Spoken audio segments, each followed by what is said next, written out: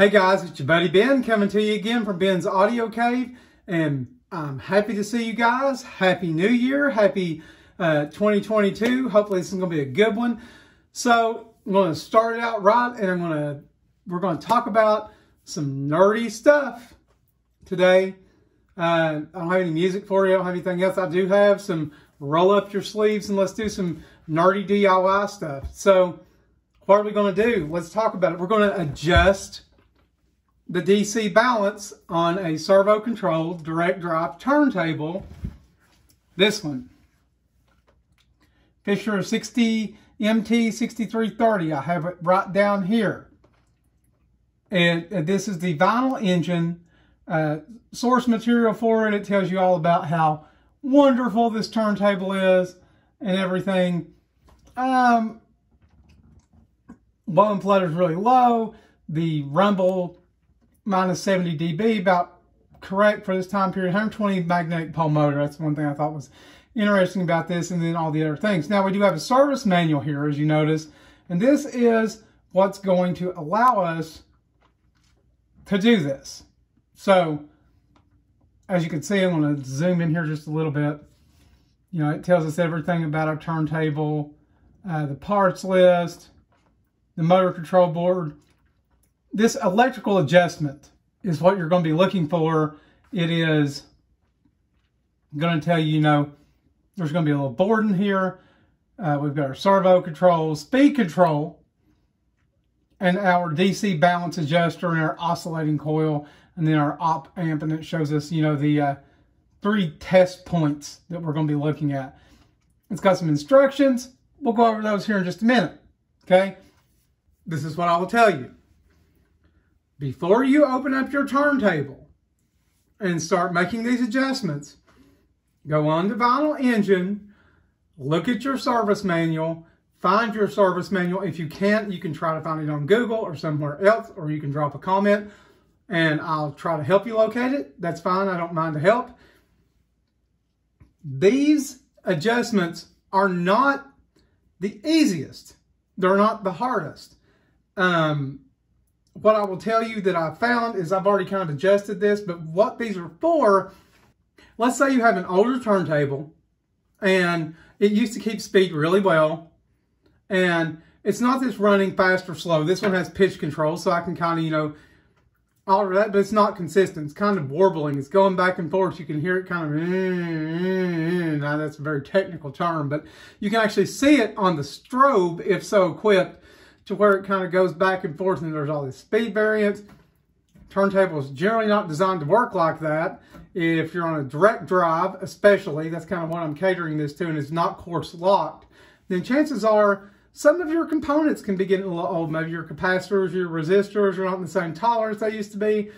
But, you know, these are things with, if they're in spec, you can adjust them. So I've already actually adjusted this one once.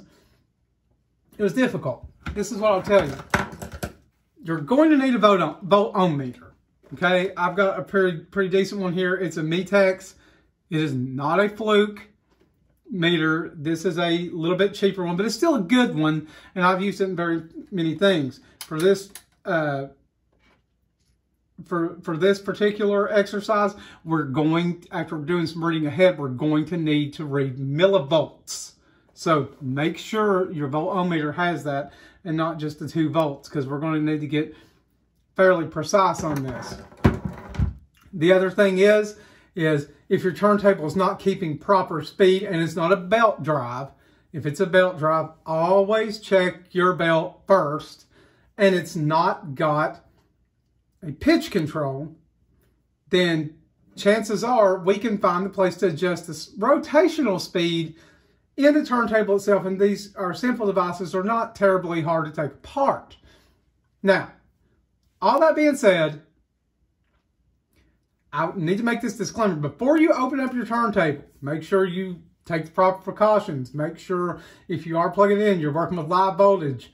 If you feel uncomfortable, give it to a technician to service it. If you want to roll up your sleeves and service your turntable, awesome. Do so at your own risk and know all the risks before you do it. Okay? Very important. Now then, um,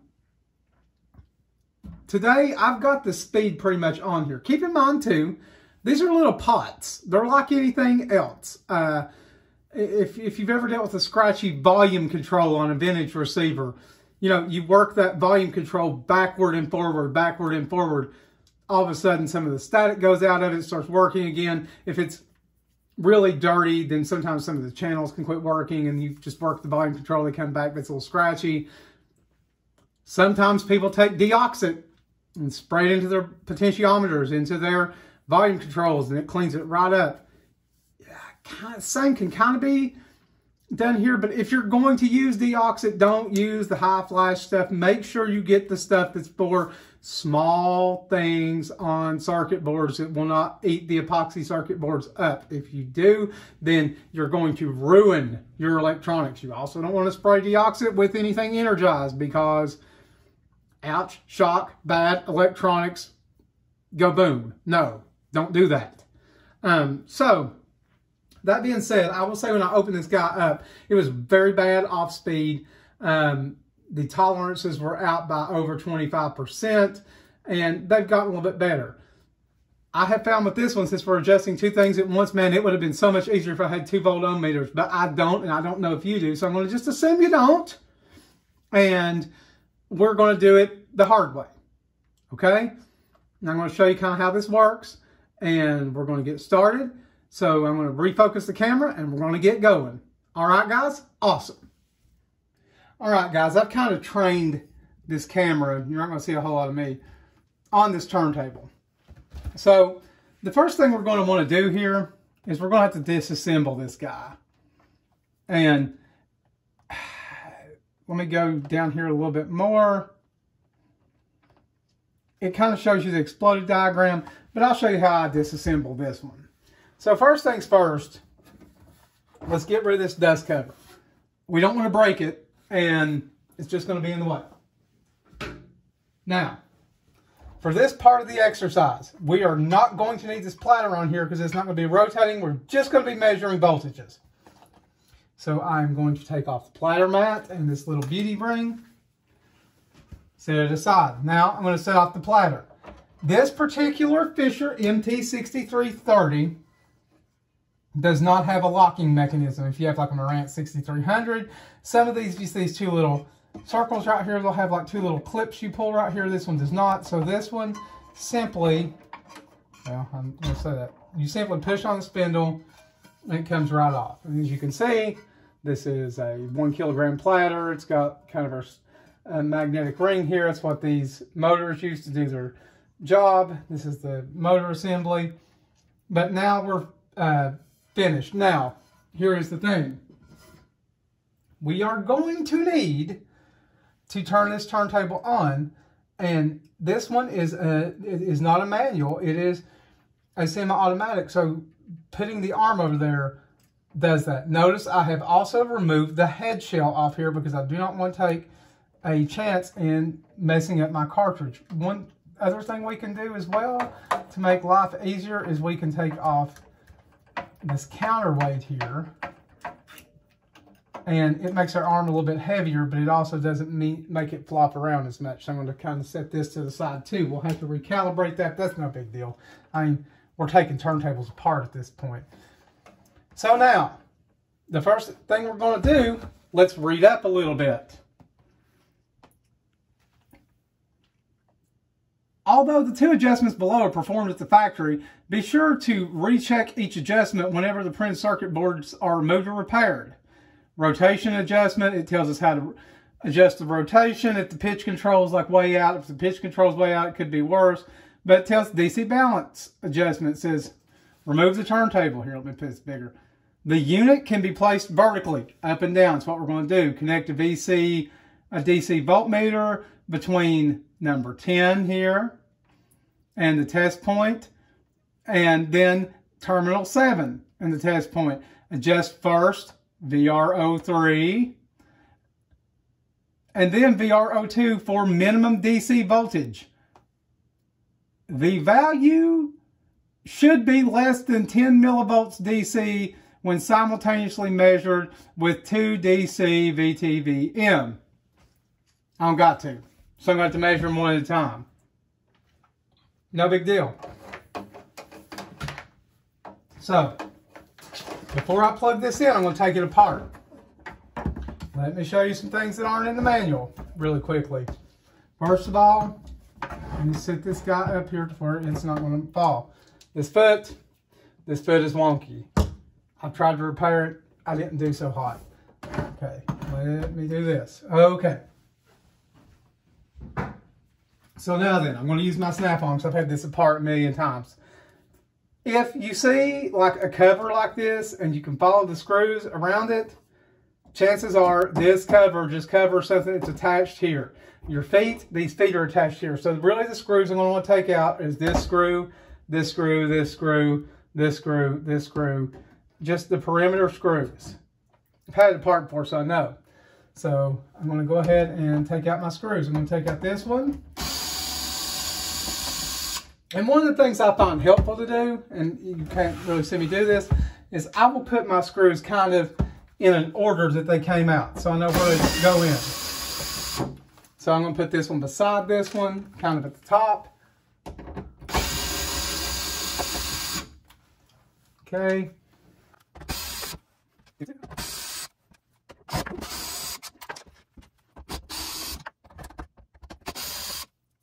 Aha, and one more.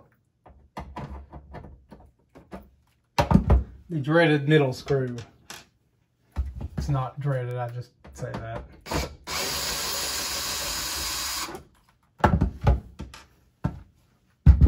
Okay, now this bottom should come right off. And it does. And voila, just like that. That's all our turntable is really made of, guys. Not a whole lot.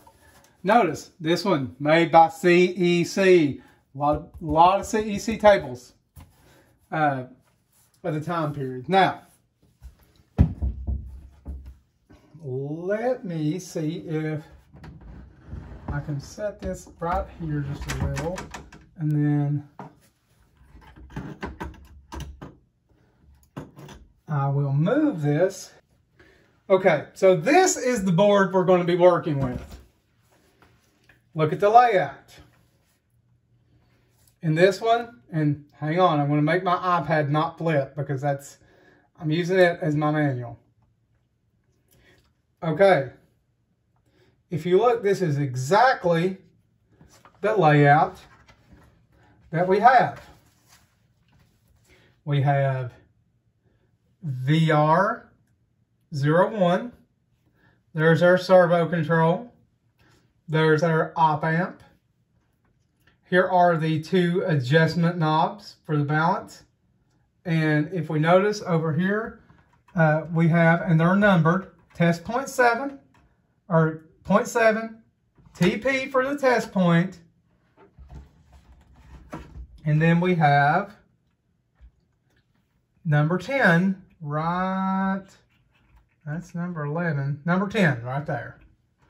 Kind of have to move that a little bit. It's, it's number 10's right here. So 10, 7, orange, yellow, and our test point. Now, like I said, this would have been a lot easier if I had two volt ohm meters, but I do not. And that's okay, because maybe you do not either. Now, here comes the not nerve-wracking point, but the point where you start being a little bit whoop, careful, as I say, as I drop everything that I have. So now, to test this, it's going to have to be energized. To energize it, we must plug it in. Make sure nothing is touching. Nothing is touching. Okay. So here we go.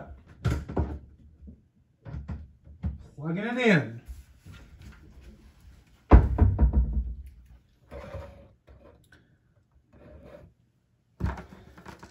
And even though that this meter's going a little bit back and forth, it is accurate. We can kind of power cycle it and let it reset. There we go. So, let's go ahead and turn this on. Notice, it's on. Now, test point and 7. 10 and a half. Test point number 10. 1.2. Okay, so now what's it tell us to do? It tells us to adjust VR3 and then VR02. So, make sure I'm right here. VR First adjust VR03. So, this is going to be a little difficult. So what I'm going to do is I'm going to go here. What is your deal? I'm going to go here and I'm going to do this right here. And if you're a little bit better at this than I am, you can get these to hold.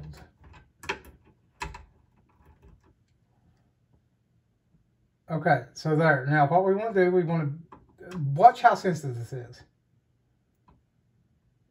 Okay, so we have to turn it left.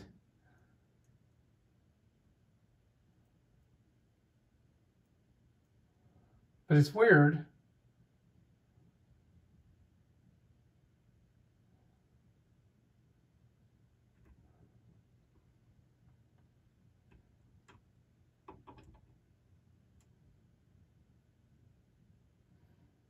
Watch it drop like a rock.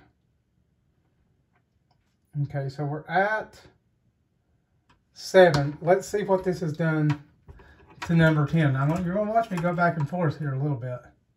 Because look what we've done here. So we need to actually adjust this one first.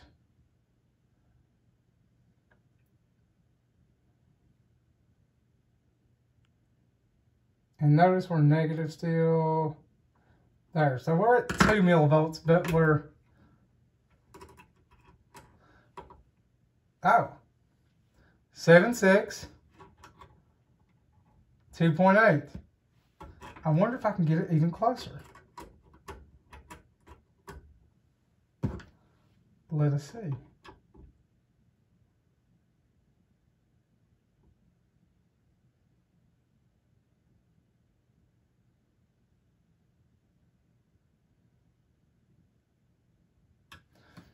Four two,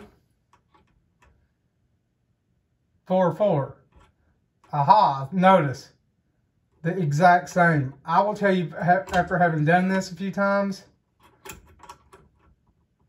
this is probably the sweet spot.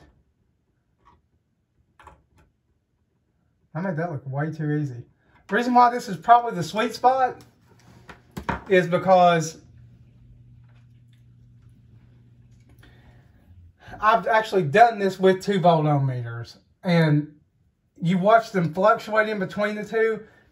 Generally, they about balance. I got very lucky in making these the same. So now, let's see what this did rotational speed-wise. First thing I'm going to do is I'm going to unplug my table, okay? Notice, everything's off. We've de-energized it. We're not going to get bit now. So, number next thing. We're going to leave this open. We're going to set it down here and make sure that nothing is touching.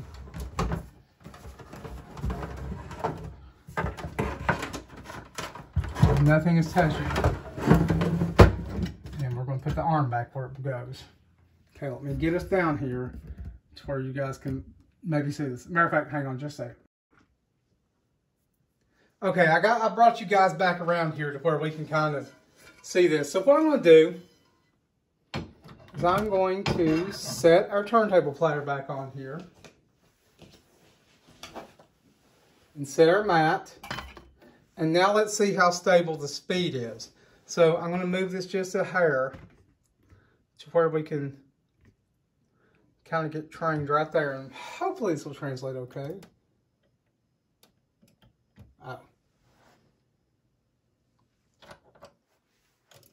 Ah, I de-energized. My bad.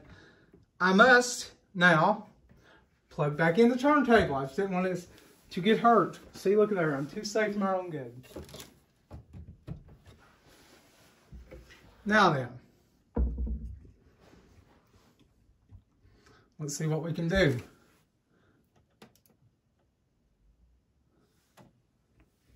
Okay, so, well, fiddlesticks. It's got a auto return there now. Look at the blocks there. Watch them move. We'll let it rotate for just a minute.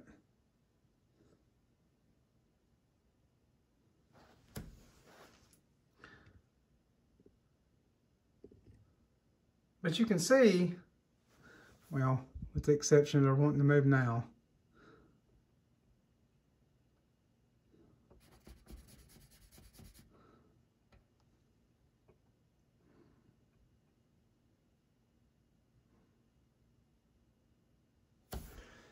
you can see those are fairly stable now.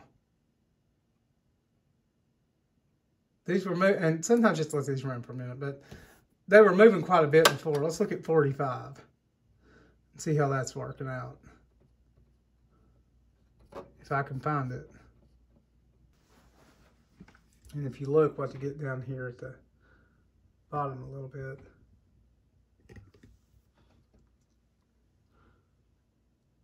Our 45 is pretty stable. Now let's go back down to 33. Now if you've seen the blocks move, you'll see it's the second set of blocks here for 33.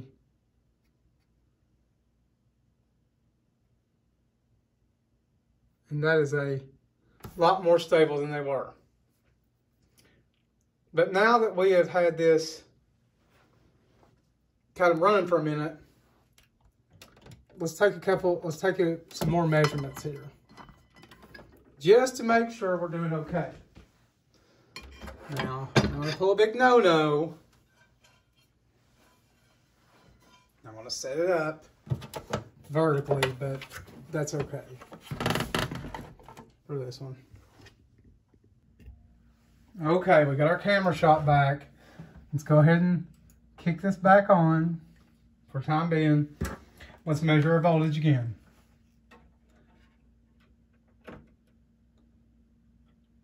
So we got 2.2 here. And 7.4 there. What happens if we switch it over to 45? 7.5, 2.2. May need to be readjusted just a bit. Uh, let's do that real quick. Which one was 7.5? Let's see. I think it was this one. 7.5.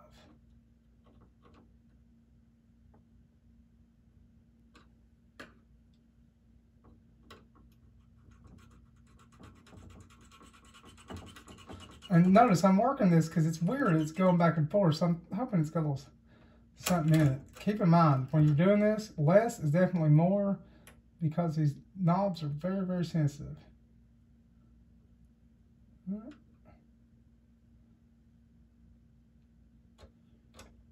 Back negative.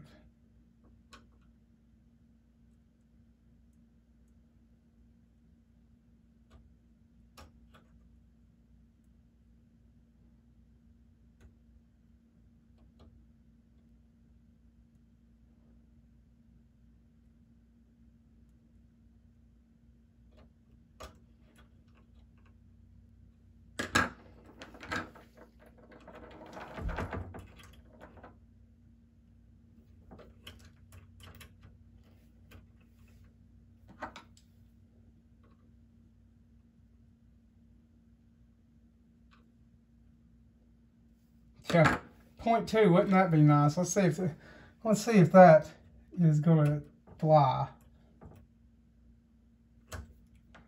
Hmm. Point three.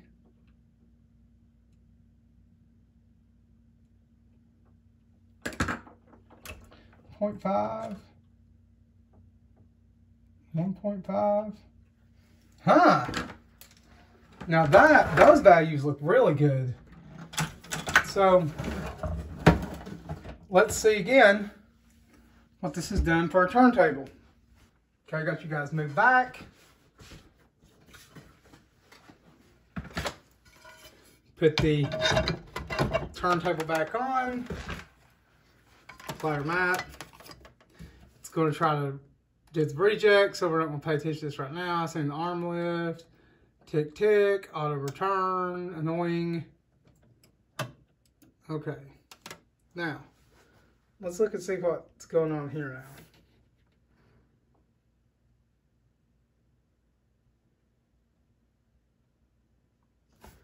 And as you can see, our speed's really kind of settled down. Now, I, here's what I'll tell you. As it as an album plays, this actually gets even a little bit more stable as time goes on. It might get a little bit fast. This is not a quartz lock table. This is servo generated. So there are some variables, but that's pretty dang close. That's less than the plus or minus 3%. Let's take a look at the 45 here. I may have to get you guys up just a little higher to see it.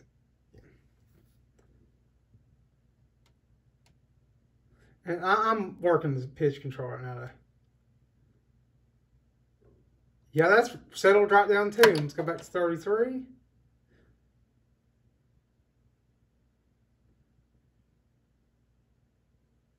Just settled down nicely. Okay. So apparently every now and again, the universe tends to unfold the way it should and things turn out great like they just did here. I've got this guy adjusted back. Chances are, I mean, this thing is a, a 1979 turntable. It's like two years younger than I am. Uh, it's like 42 years old. This is the first time I've had to adjust the speed, and it's probably been needing done for about six months. So let's say adjusting this DC offset First time 42 years. Could there be some capacitors that need to be checked? More than likely, I didn't see any uh, swelling or anything glaringly obvious in here. Some of them may be, you know, getting at the end of their useful tolerance as most electrolytic components do. But for now, I mean, this guy's straight and dried up. Um, so if you've acquired a vintage turntable like this, then maybe it's your DC balance that's off. Now here is the thing. All manufacturers and all things will be different. So make sure you get your service manual and have, get the, you know, optimal configuration and the optimal uh, tolerances and specs that you'll be measuring for as well as the right test points. Because I mean, there are like 14 test points on here. If you don't know which ones you're measuring, then you're just, you know, stabbing in the dark. Um, that being said, a lot of these CEC manufactured turntables, Marantz, uh, Fisher, uh, MCS, there's a long list. CEC was basically like last year's Hanpin. You can look, their arms all look similar. Their um, layouts all do. They manufactured, you know, things from some of their off-the-shelf designs some of them, they had designs from the manufacturer like Fisher, 120 pole uh, motor. Mm, that's pretty unique to here.